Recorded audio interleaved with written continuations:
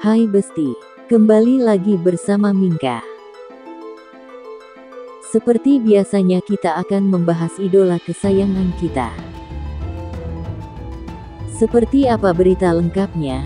Yuk kita tonton video ini sampai selesai. Hai Besti M. Kali ini ada berita dari Buat Salut dan Bangga Putri. Putri yang selalu rendah hati. Pada kemarin terlihat Putri yang melakukan live di TikTok. Putri sedang di kamarnya nampak menunjukkan yang habis dia beli. Namanya juga wanita pastinya selalu tertarik dengan aksesoris. Di sini nampak saat Putri menunjukkan belanjaannya. Putri yang menegaskan kalau awas ya abis ini ada yang bilang katanya kaya kok beli yang murah.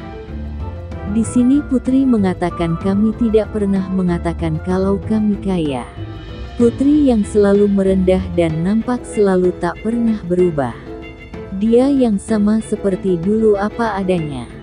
Salut sekali dengan Putri ya Besti. Awas ada yang komen. "Ah, masih udah kaya.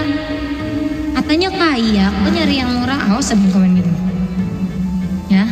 Ya, saya dan keluarga saya tidak pernah bilang kalau kami orang kaya. Oke? Oke.